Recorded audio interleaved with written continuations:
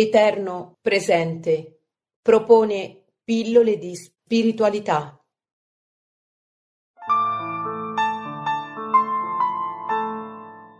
Pensieri a voce alta, a cura di Guido Landolina. Primo marzo 2016. Babele, nuovo ordine mondiale. Babilonia la Grande, l'Anticristo. Prima parte di tre. Credo che questa nostra generazione di cristiani non abbia mai vissuto persecuzioni così violente e assistito a un Natale così contestato come quello di questi ultimi tempi. A livello mondiale centinaia di migliaia di cristiani vengono costretti ad abbandonare fuggiaschi le loro case e la loro terra, massacrati o passati per le armi, persino crocifissi. E nel migliore dei casi condannati con la galera fino a cinque anni, se si osa festeggiare, magari esibendo presepi o alberi di Natale come deciso tempo addietro dal sultano del Brunei.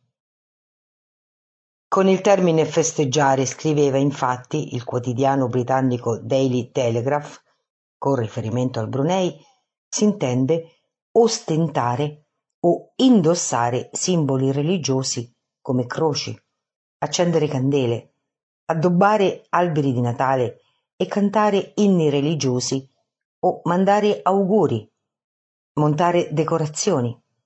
In sintesi, tutto ciò che rappresenta il Natale. Il governo della Somalia, altra notizia, aveva proibito nei mesi scorsi di festeggiare il Natale e il Capodanno, nel timore che le celebrazioni nel paese a maggioranza musulmana potessero attrarre gli attacchi degli islamisti. Tutti gli eventi relativi al Natale e al Capodanno sono contrari alla cultura islamica e possono danneggiare la fede della comunità musulmana, ha detto il direttore generale degli affari religiosi di Mogadiscio, sceicco Mohamed Kairob, aggiungendo che le forze di sicurezza hanno l'ordine di interrompere eventuali festeggiamenti. Non ci dovrà essere alcuna attività.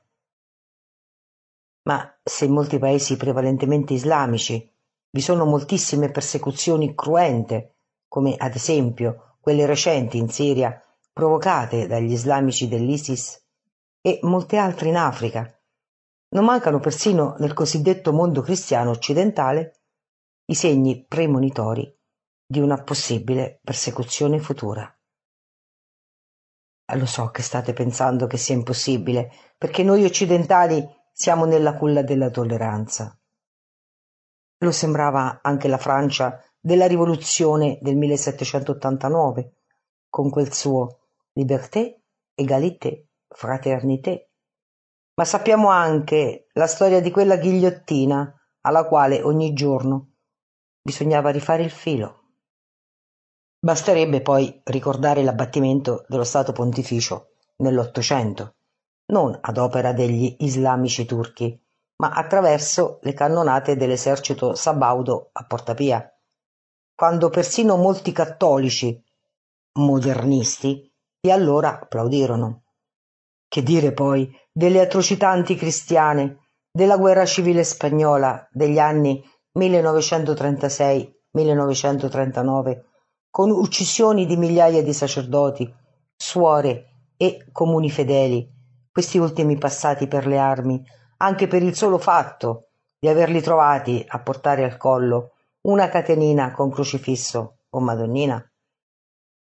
E le tremende persecuzioni, sempre nel Novecento, nell'ex Unione Sovietica atea? Sono persecuzioni che di solito cominciano per gradi. Prima si critica, poi si contesta, quindi si accusa, infine si mette fuori legge e, per terminare adducendo magari ragioni di opportunità politica, si arriva alla persecuzione del sangue attraverso una serie di passaggi come primo accusa di fondamentalismo. Secondo, emarginazione politica e sociale.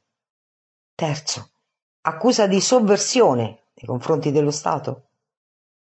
Quarto, simpatie e collaborazionismo con il nemico. Quinto, tradimento della patria. Sesto, carcerazione. Settimo, esecuzione capitale.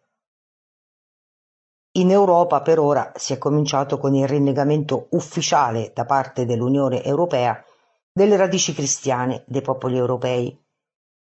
Nella laicissima Francia si vogliono però già obbligare i paesi che hanno nomi di santi a cambiare nome, per non parlare dei nomi delle strade. Inoltre, anche in Italia si vorrebbero un poco ovunque togliere da scuole e ospedali i crocifissi e persino i presepi. In Italia, il paese culla del cristianesimo. Anche alcuni vescovi e parroci della stessa Chiesa cattolica, più islamisti degli islamici, cominciano a fare i collaborazionisti. Ad esempio, è di solo qualche tempo addietro la notizia che il vescovo di Vicenza, Beniamino Pizziol, in nome dell'integrazione con i musulmani, apriva al Ramadan. Venga insegnato a scuola agli studenti cristiani. In Inghilterra il leader dei laburisti britannici Jeremy Corbyn, capo dell'opposizione rappresentata dal Labour Party, si era rifiutato lo scorso anno di formulare alla popolazione, in occasione della vigilia, gli auguri di Buon Natale, anch'egli per non offendere i fedeli di altre religioni, sostituendo detti auguri con un messaggio di buona fine d'anno. Il conservatore inglese Andrew Bridgen aveva subito commentato a riguardo questa è la nuova politica di Corbyn, cancellare il Natale. Questo è solo un assaggio di ciò a cui andrebbe incontro la Gran Bretagna se Corbyn dovesse diventare primo ministro. Mi domando, solo in Gran Bretagna? Temo infatti che in Europa e nel mondo intero potrà in futuro accadere di peggio. L'attuale Unione Europea, quella che ha politicamente rinnegato le sue origini cristiane, non tenta neanche di nascondere la sua profonda avversione laicista nei confronti del Dio della Bibbia. Una Bibbia che essa detesta anche se poi, ironia della sorte ed eterogenesi dei fini, si ritrova a vivere già ora nello spirito dell'antica torre di Babele, della stessa Genesi biblica. Non a caso a Bruxelles, sede dell'Unione Europea, giganteggia una costruzione in questo stile con una torre di Babele in versione architettonica moderna. Ma quale è il punto di contatto fra l'antica realtà di Babilonia e quella della Babilonia più moderna? La torre di Babele, originaria, rappresentava la pretesa prometeica di raggiungere l'altezza di Dio, simboleggiata appunto dalla gigantesca e altissima torre, meraviglia della ingegneria edilizia di quei tempi antichi. Era in sostanza un atto di sovversione e ribellione a Dio con l'uomo che si faceva suo pari. La Genesi biblica, infatti, così recita. La torre di Babele è nuova genealogia. Capitolo undicesimo, versi da 1 a 8, testo CEI 2008. Tutta la terra aveva un'unica lingua e uniche parole. Emigrando dall'Oriente, gli uomini capitarono in una pianura nelle regioni di Sinar e vi si stabilirono. Si dissero l'un l'altro: Venite, facciamoci mattoni e cuociamoli al fuoco. Il mattone servì loro da pietra e il bitume da malta. Poi dissero: Venite, Costruiamoci una città e una torre, la cui cima tocchi il cielo, e facciamoci un nome, per non disperderci su tutta la terra. Ma il Signore scese a vedere la città e la torre che i figli degli uomini stavano costruendo. Il Signore disse: Ecco, essi sono un unico popolo e hanno tutti un'unica lingua. Questo è l'inizio della loro opera. E ora, quanto avranno in progetto di fare, non sarà loro impossibile.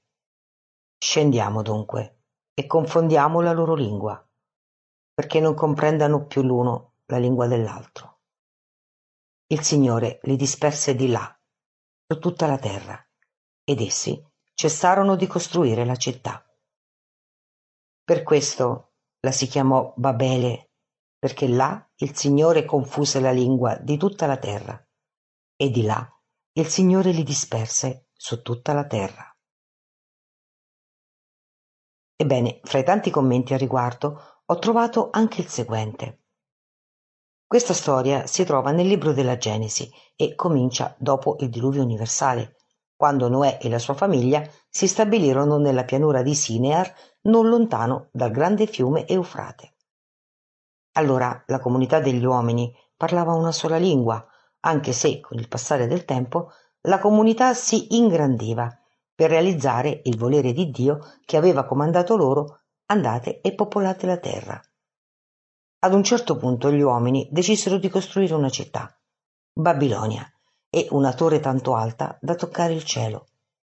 Lo scopo di questa torre era di essere un punto di riferimento per le persone e che avrebbe potuto essere utilizzata come un rifugio sicuro in caso di un altro diluvio.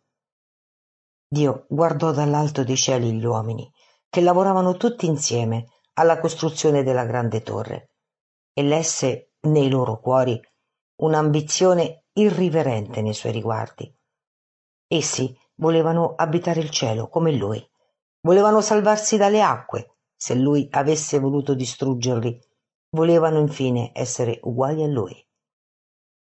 Per far capire loro la loro presunzione, li punì con la confusione delle lingue la gente parlava nella solita lingua, ma gli altri non la capivano più. Così, non sentendosi più un solo popolo, si dispersero in tutta la terra. Da allora il nome del luogo dove si stava costruendo la torre, Babele, prese il significato di confusione. Ci sono prove che la torre di Babele è realmente esistita, come gli scritti cuneiformi incisi su antiche tavolette d'argilla che raccontano di una ziggurat, una torre del tempio, fatto a forma di piramide, con una terrazza sulla cima che i babilonesi chiamavano Bab Loè, porto di Dio. La ziggurat, che conosciamo come Torre di Babele, era un tempio dedicato al dio babilonese Marduk, che aveva una base di 91 metri per 91 e un'altezza di 91 metri disposti su sette piani. La torre originale, distrutta dal re assiro Sairib nel 689 a.C., venne ricostruita e perfezionata da Nabucodonosor, il Nabucodonosor, per essere ancora demolita nel 478 a.C. dai persiani di Serse. I babilonesi chiamarono la loro torre Babloi, porto di Dio, e gli ebrei, durante la cattività babilonese, la videro certamente, e poiché in essa si adorava quello che loro consideravano un idolo, e il fatto che la terrazza sulla sommità suggerisse l'interruzione dei lavori destinati alla costruzione di una piramide, fece nascere il racconto biblico della torre. Già queste due ultime righe di conclusione fece nascere il racconto biblico della torre, sono una prova dell'attuale tendenza della scienza atea a voler negare la verità storica dei racconti biblici, presentandoli come racconti, cioè come miti. Infatti, secondo il suddetto testo, l'interruzione dei lavori non sarebbe stata opera dell'intervento di Dio, come detto nella Bibbia, ma sarebbero stati gli stessi lavori interrotti a fare nascere il racconto mitologico dell'intervento di Dio di cui parla la Genesi. Come però nel racconto biblico gli uomini vollero riunirsi in un solo popolo e parlare una sola lingua, così quel tentativo sembra ripetersi oggi. con l'ideologico progetto del nuovo ordine mondiale. Riunire cioè tutti gli uomini e le nazioni sotto un unico potente governo, che in nome della pace elimini gli egoismi e le differenze nazionali, con le loro specifiche culture, come pure elimini le attuali religioni, la cristiana prima fra tutte, accusate di provocare esse stesse divisioni e guerre fra i popoli, lasciandole unicamente sopravvivere sotto l'egida di una religione sincretista universale che avrebbe carattere puramente morale, ma che di divino avrebbe niente. Non dunque religione di Dio, ma religione dell'uomo che si fa Dio. La storia, mi domando dunque, si ripeterà forse cercando di ricreare una nuova Babilonia, la gran città di cui parla l'Apocalisse, che a quel punto dovrebbe essere costituita dalla terra intera mondialmente e filantropicamente unificata con le buone o con le cattive? Credo tuttavia che ciò sia una pura utopia e a questo riguardo, diceva il Gesù delle visioni della mistica Maria Valtorta, non potete, fra voi o popoli diversi, giungere ad durevole accordo. Avete tutti le stesse aspirazioni e gli stessi bisogni, e come piatto di bilancia il peso della buona parte dell'uno va a detrimento dell'altro. Vivete per avere sempre la parte maggiore e vi uccidete per questo. È un'alterna vicenda che si fa sempre più grave. Come finirà dunque questo tentativo egemonico? Con un'altra confusione delle lingue e dispersione? Potrebbe finire in un modo che vi spiegherò in un mio prossimo secondo pensiero.